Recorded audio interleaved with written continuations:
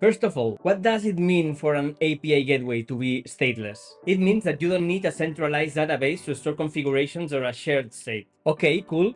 And how does this affect us? Basically, it eliminates the possibility of a single point of failure, the database. Scaling your cluster will be much simpler since every node will be independent. There will be no coordination between them, a linear scalability even in multi-zone or hybrid setups. But how do I apply changes to each instance if there isn't a shared configuration? Each instance has its own configuration file, which is written when the service starts. Then if we want to change a parameter, add an endpoint, we have to replace our gateway with another new instance that has a new configuration.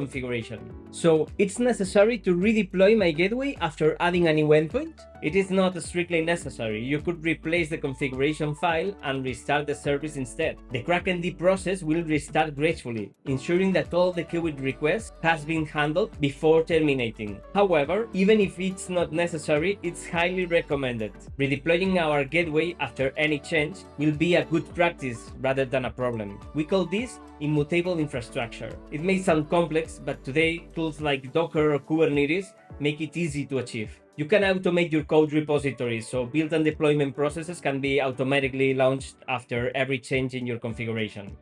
In short, a stateless API gateway eliminates the need for coordination between nodes and prevents from having a database as a single point of failure. Allows linear scalability, even in multi-zone or hybrid environments. Promotes the use of immutable infrastructure, as well as GitOps-oriented methodologies.